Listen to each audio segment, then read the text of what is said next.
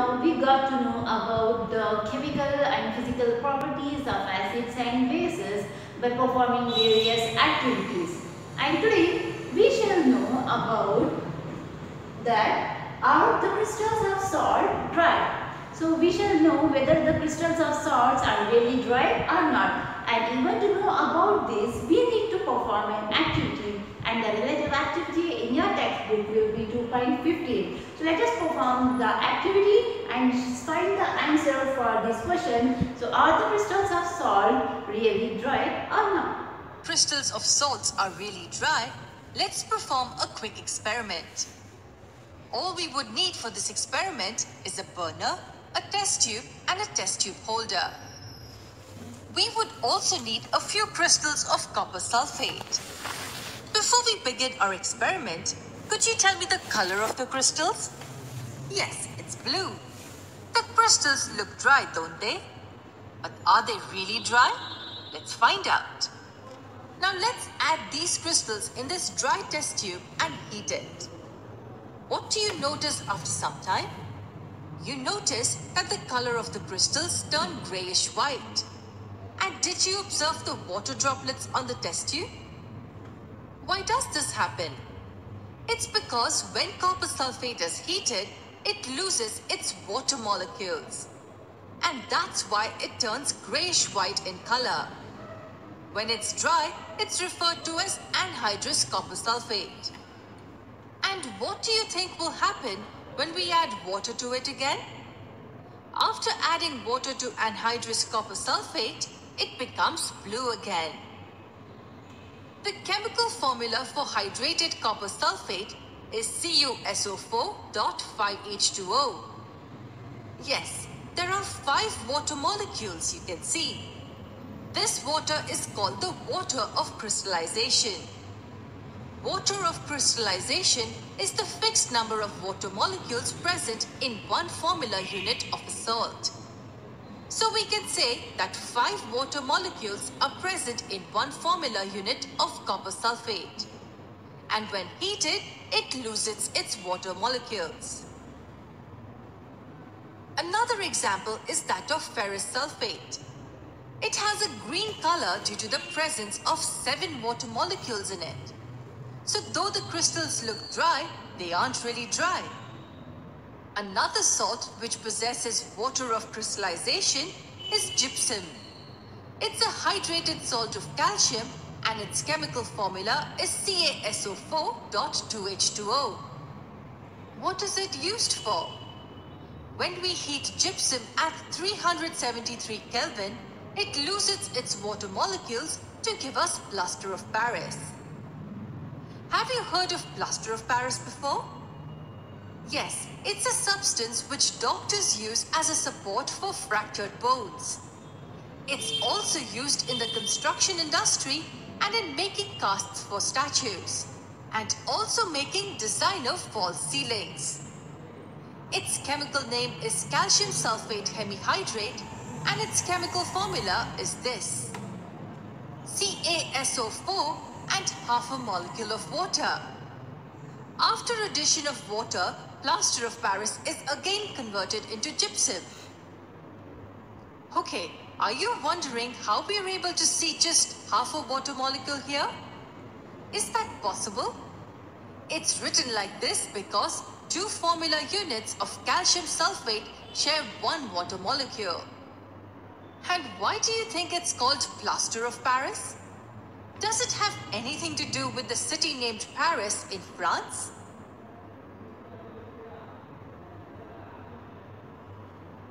Plaster of Paris was first made many many years ago and has been used by ancient Egyptian and Roman civilizations.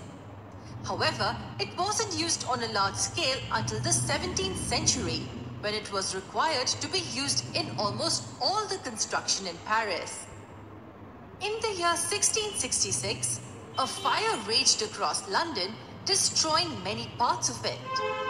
In its aftermath, the King of France ordered that all walls made of wood in Paris be immediately covered with plaster as a protection against such fires. This resulted in large-scale mining of gypsum which was available around Paris in huge quantities. Thus, during the early 18th century, Paris became the center of plaster production and hence the name Plaster of Paris. Now we got to know clearly about the crystallization of salt. So in the, video we also came to know about the water of crystallization. So what is water of crystallization? That means usually we think water is a water will be present in the liquid form, but water can be crystallized and we can see the crystallized water in the solid. So but what is water of crystallization? How can we define water of crystallization? So this can be defined as water of crystallization is the fixed number of water molecules present in one formula unit of a salt. So water of crystallization is nothing but it's a fixed number of water molecules. Okay, it has a fixed number of water molecules. With that molecule will be present in a salt, but in the form of crystals. Okay, that is called as water of crystallization. And through the video we got to know the different types of chemicals. There is the different types of uh, we have seen the CuSO4. It's nothing but the copper sulfate. But for this copper sulfate, if we add a one molecule of water, then it will be become as the hydrated copper sulfate. Only this much is copper sulfate. But on addition of water, now it will become hydrated copper sulfate. Hydrated copper sulfate. Whereas similarly, Na2CO3, it is sodium carbonate. On addition of H2O water, then it will become sodium carbonate. That is hydrated sodium carbonate. So it will be hydrated sodium carbonate. Hydrated sodium carbonate and one more that is calcium sulfate. It is copper sulfate and this one is calcium sulfate. On addition of two molecules of water, this calcium sulfate it will get converted into hydrated hydrated calcium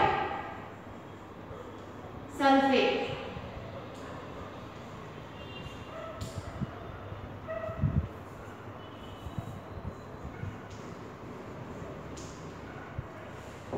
And this hydrated calcium sulfate spread is it is also known as the gypsum. It is also known as gypsum. G Y P S U M. Gypsum. So what is gypsum?